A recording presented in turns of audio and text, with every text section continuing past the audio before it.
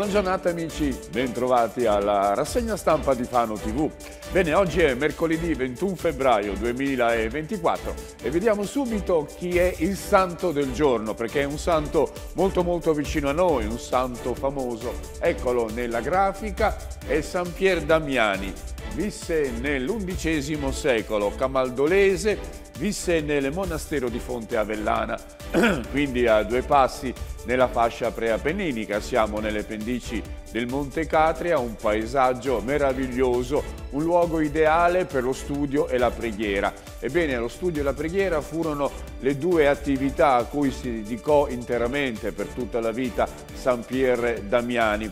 Ebbene, divenne abate di questo monastero Amò lo studio, ma anche la povertà, si vestiva di vesti molto sdrucite, insomma no, non faceva caso a quello che aveva indosso, ma fu anche un uomo importante. Dal Papa, grazie appunto alla sua cultura, alla sua elevazione spirituale, fu nominato cardinale e anche vescovo di Ostia e poi compì tante tante opere, tante missioni all'estero per il Vaticano. E alla sua morte fu dichiarato dottore eh, della, della, Chiesa, quindi una figura elevata molto importante che si ricorda anche nella Divina Commedia, San Pier Damiani. Vediamo ora le previsioni del tempo.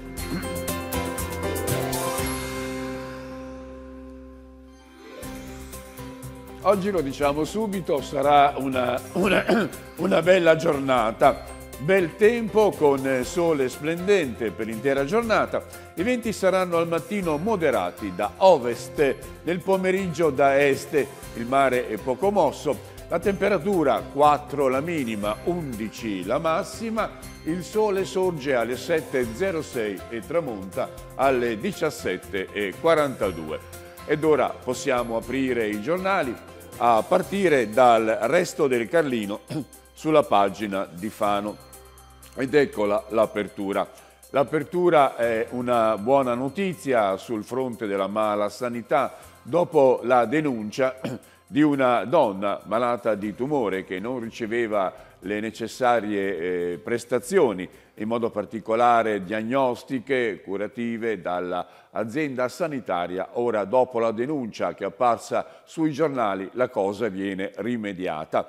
Malata di tumore, l'amarezza dopo la rabbia, ora il posto per i controlli l'hanno trovato. Ci voleva proprio eh, arrivare sui giornali per ottenere quello che era invece diritto normale di tutti. Lara Giommi, 44 anni, che aveva denunciato sul giornale la sua odissea per sottoporsi agli esami, è stata finalmente contattata telefonicamente dall'URP, come se niente fosse, insomma, senza alcuna scusa, senza alcuna spiegazione.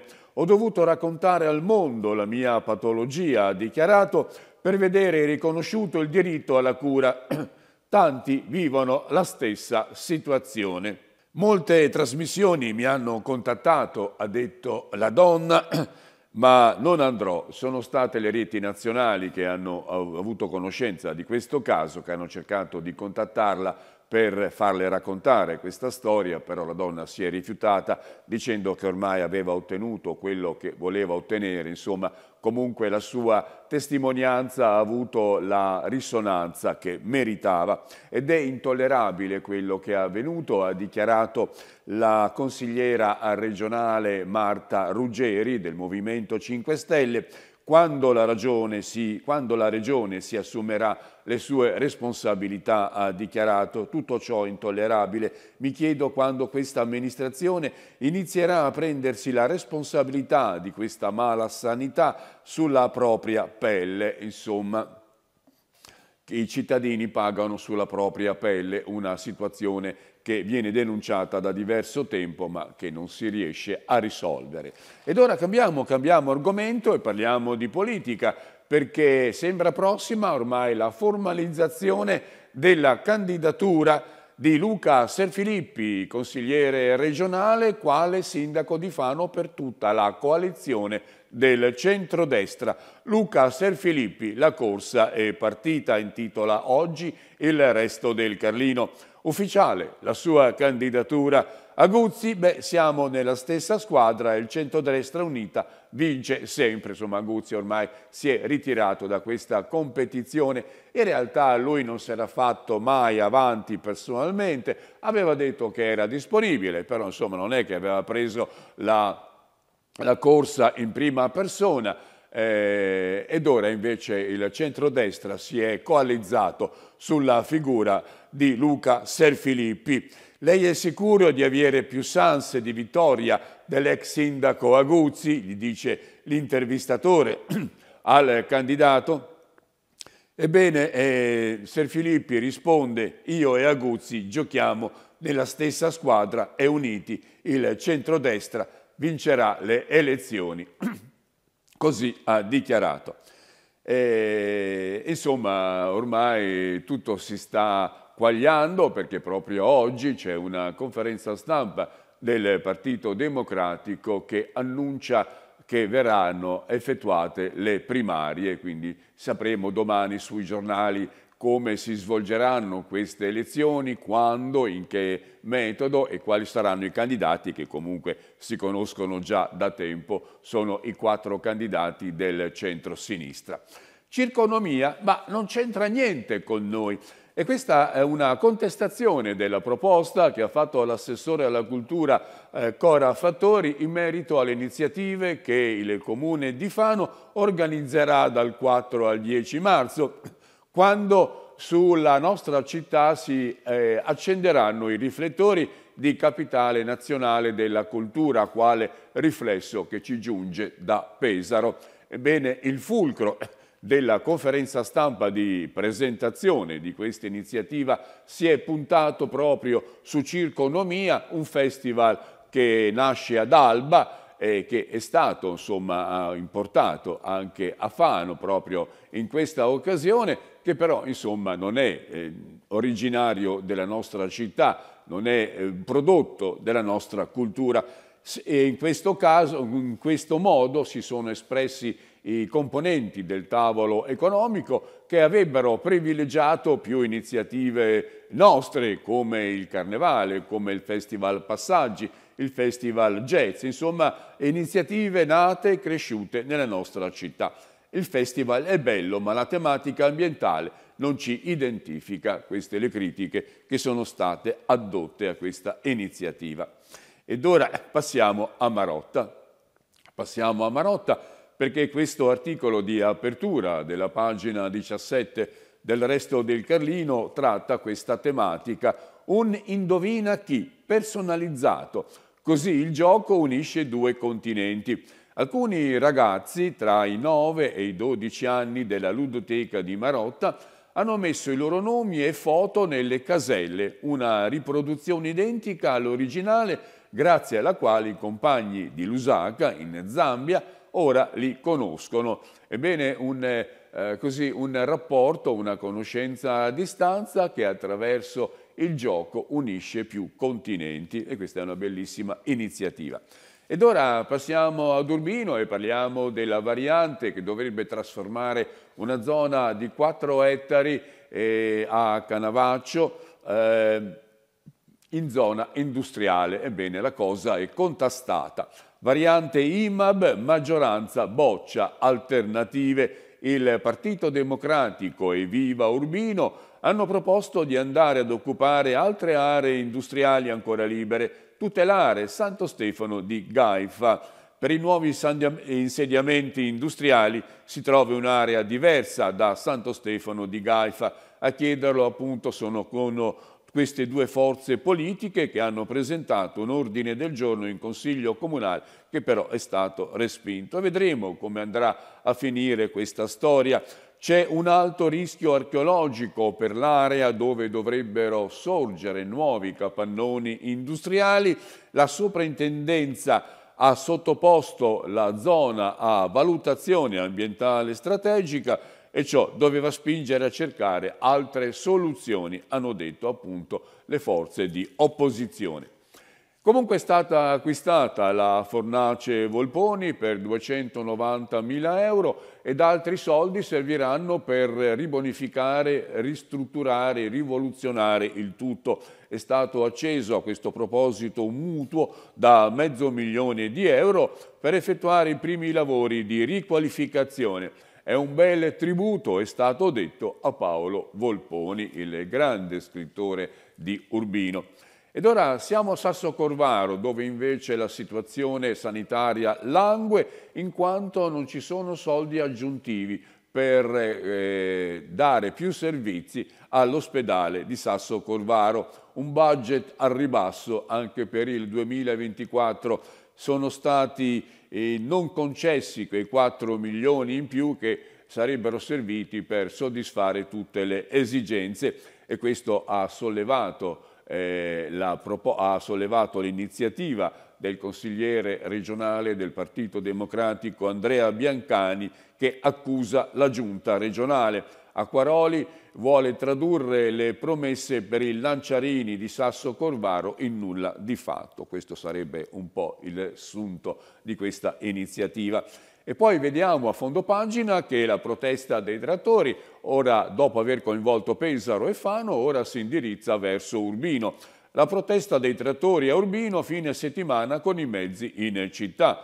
Gli agricoltori pronti alla manifestazione. Ci sentiamo messi da parte di chi dovrebbe essere al nostro fianco, è stato detto.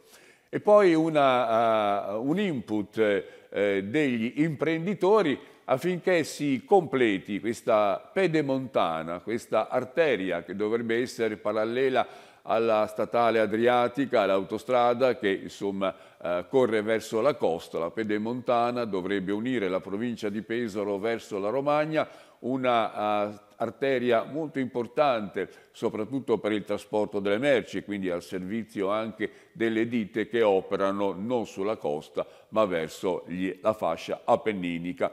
Pedemontana, subito il progetto dei lavori, così viene richiesto, appello degli imprenditori attraverso l'ex presidente della comunità montana Severi. I soldi ci sono, ha detto, colleghiamoci appunto con la Romagna. Vediamo anche la pagina di Pesaro del Resto del Carlino, dove si parla ancora dello spostamento del mercato al San Decenzio, l'alimentare unito agli altri articoli. Abbiamo già parlato ieri di questa iniziativa evidenziando la soddisfazione sia degli ambulanti che del pubblico, una soddisfazione che è emersa anche nei servizi che Fano TV ha fatto sull'argomento uh, ed ora questa viene convalidata appunto da questo articolo. Le rivendite del cibo hanno lasciato l'area dietro il tribunale e sono state trasferite nel parcheggio più grande. Valerio Tamburini, referente degli ambulanti, è soddisfatto. Due settori nello stesso posto giovano a tutti perché poi uno attira l'altro quindi c'è un uh, collegamento, una sinergia tra questi due settori del commercio. Tra contenti e scontenti, banchi più lontani, non è comodo lo stesso, ma il flusso si è spostato. C'è anche qualche timore, soprattutto per gli esercenti a, posto fisso, che ovviamente per quanto riguarda il mercato hanno un vantaggio per l'attrazione che il mercato stesso esercita. Ora il mercato è più decentrato, vedremo presto, hanno detto, quale sarà il nostro destino. Si parla di quelli che sono stati abbandonati. Ed ora la novità che caratterizza un po' il volto di Pesaro dopo la palla di Pomodoro, la biosfera in eh, Piazza del Popolo, una uh, struttura tecnologicamente avanzatissima che desterà senz'altro la curiosità di tutti i cittadini, ma anche di tutti coloro che visiteranno Pesaro, capitale nazionale della cultura. Biosfera come l'albero della vita, ha dichiarato il sindaco Matteo Ricci, Pesaro ha un nuovo simbolo ecologico, tecnologico, popolare. La squadra del sindaco presenta l'installazione unica in Europa che sarà inaugurata sabato. Tre obiettivi, esaltare il territorio, rapporto uomo e ambiente e interagire con i visitatori. Non sarà infatti una cosa, cosa da guardare, ma sarà interattiva tra coloro che interagiranno con la stessa. E poi vediamo anche questa notizia perché eh, per i numismatici sarà una buona e ghiotta occasione. La zecca eh, dello Stato ha emesso 5 euro dedicati a Pesaro Capitale. È una moneta in rame molto bella dal punto di vista iconografico che insomma immortala questo avvenimento che Pesaro ha conquistato.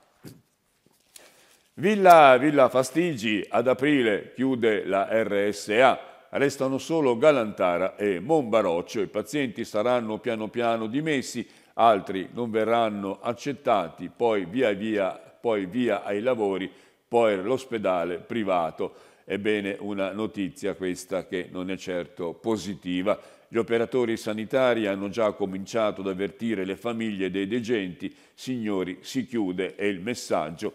A fine marzo, infatti, la RSA di Villa Fastigi chiuderà i battenti. Insomma, questa è un'iniziativa non certo gradita, specialmente alle famiglie che devono prendersi cura degli anziani.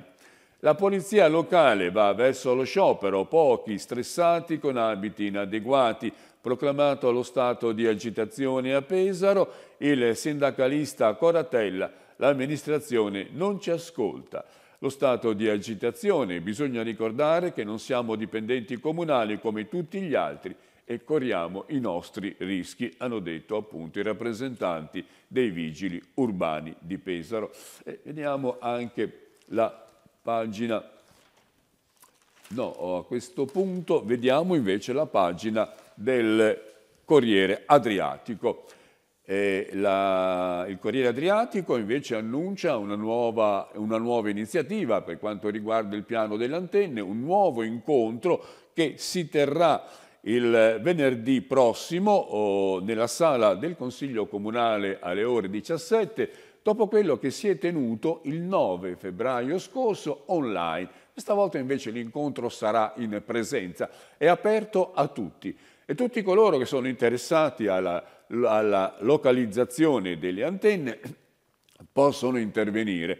In questa occasione sarà spiegato quali sono gli elementi importanti, portanti del piano delle antenne e tutti coloro che sono presenti potranno anche fare le loro proposte, eh, le loro alternative, magari se qualche loca localizzazione di un'antenna non soddisfa oppure viene considerata non idonea, Certo è che eh, non, le antenne non possono essere annullate, eh, è una legge nazionale che accerta, che, insomma, che convalida la posizione, in modo particolare l'esigenza delle ditte eh, che sono predisposte per la telefonia mobile di coprire le zone d'ombra e quindi in qualche modo le antenne devono esserci. Certo che il comune può comunque cercare un posto più idoneo, meno invasivo, più salutare eh, per quanto riguarda le onde elettromagnetiche e meno oh, così impattante per quanto riguarda l'ambiente.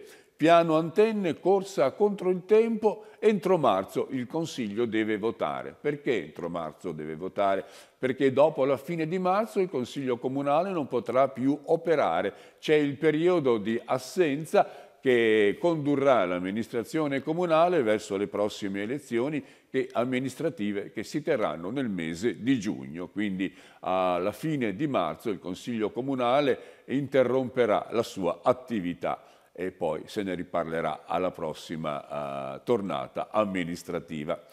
Eh, altre notizie, il Corriere Adriatico oh, evidenzia come per Ser Filippi inizia il countdown per la formalizzazione della sua nomina a candidato sindaco del centrodestra. Domani la conferenza stampa con la presenza del presidente della regione Francesco Acquaroli. E intanto vediamo come Fano, città dei bambini, continua a destare l'interesse di tante, tante amministrazioni comunali, non solo italiane ma anche estere. È stato un prototipo che da Fano è stato poi assunto ad esempio in tante altre parti del mondo ed ora vediamo che la regione Marche, eh, la regione Lazio, scusate, con altri tanti, tanti comuni di questa regione sono convenuti a Fano per così studiare il fenomeno del laboratorio città delle bambine e dei bambini. Una riunione importante con la presenza del eh, inventore di questa iniziativa, eh, Francesco Tonucci, insieme ad altri funzionari del CNR, si è tenuta nella Sala della Concordia della residenza municipale. E qui si è illustrato un po' tutto il progetto. Da andiamo a scuola da soli, da tutte le iniziative del Consiglio dei Bambini, ai progetti che il Consiglio ha prodotto, ricordiamo poi la grande partecipazione dei bambini al Carnevale, la didattica nelle scuole, Casa Cecchi, Casa Archilei, insomma sono tutte iniziative che hanno reso la presenza dei bambini determinante anche nella nostra città. E poi vediamo come i lavori che si stanno facendo nella uh, pista d'atletica Zengarini eh, destano però difficoltà agli atleti che lì devono allenarsi. Lavori senza fine alla Zengarini dei 200 tesserati, ora ne restano 77.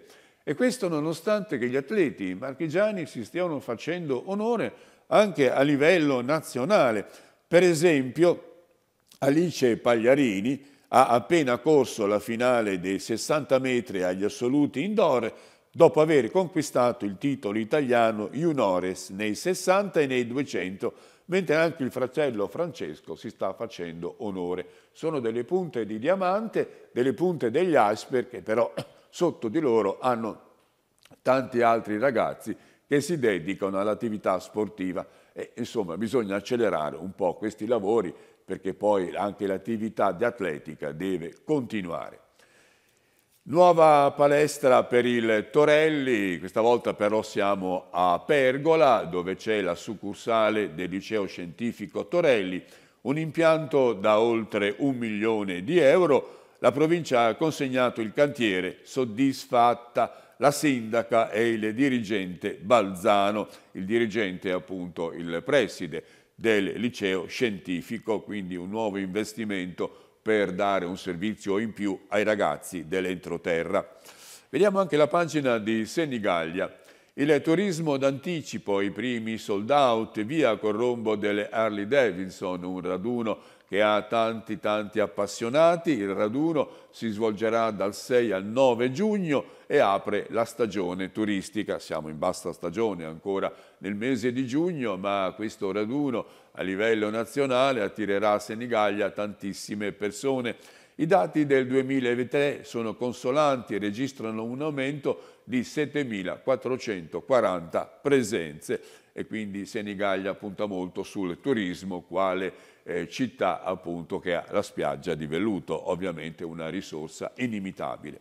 Vediamo anche la pagina pesarese del Corriere Adriatico, l'apertura è dedicata alla biosfera di Piazza del Popolo, noi ispirati dall'Expo perché è un po' il sale della vita, eh, questo albero della vita che è stato un po' il simbolo dell'Expo del, di, di, di quell'anno, quando a Milano c'è stata questa grande esposizione internazionale, ebbene la biosfera di Pesaro si ispira a quel modello.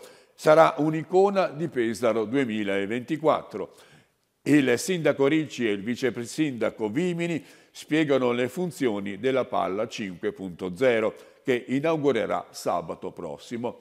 Intanto prende forma la CTS Square la nostra mini Silicon Valley, con 11 milioni intercettati, un grande laboratorio digitale diffuso. E qui vediamo ancora la biosfera di Piazza uh, del Popolo che è nella fase di montaggio. E poi vediamo la situazione del mercato, ambulanti riuniti al San Decenzio, disco orario di due ore per la sosta e quanto richiedono per far sì che insomma, i clienti del mercato possano agevolmente fare la spesa e poi insomma, tornare a casa loro. E poi per l'ultima notizia voglio segnalarvi lo stato di agitazione della Polizia Locale di Pesaro. I vigili tre ore dal prefetto, adesso si va in comune. Dall'esito dell'incontro decideranno se continuare o meno lo stato di agitazione. Anche loro vogliono tutelare i propri diritti. E con questa notizia chiudiamo la nostra rassegna stampa dandovi appuntamento come sempre domani alle 7. Grazie per l'ascolto, a risentirci. Música